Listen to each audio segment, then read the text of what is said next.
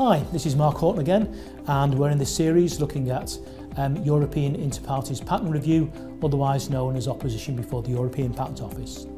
In this video, we're now looking at the response to opposition by the opponent. So we've had the opposition filed by the opponent or opponents, We've had, then had the proprietor and the proprietor has filed their response within four or maybe six months if they've had an extension and now there's a further response in opposition by the proprietor. Now at this stage, if there's more than one opponent, this is the time when you will have seen a number of additional documents which you weren't previously aware of.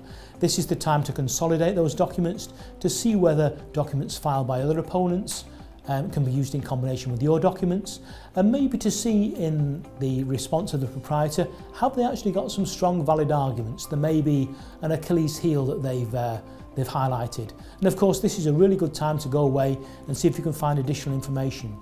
Now the additional information might be something from the common general knowledge. You might actually be wanting to go out to um, uh, the open literature. You might want to be going to encyclopedias, review articles, books and so forth to find substantiation for particular terms or particular points that you want to clarify and you want to make sure that the opposition division sees them in the context that you want to see them to have a particular meaning in, in view.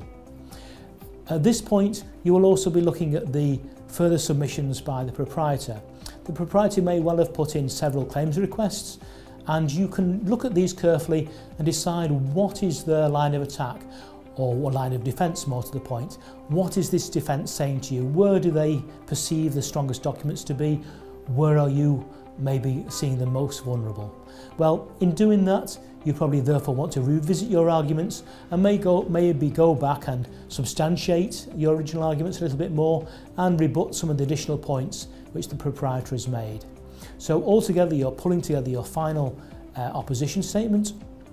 Now then, at this stage, the proprietors themselves can make a further response and as an opponent, the opponent can make yet further responses.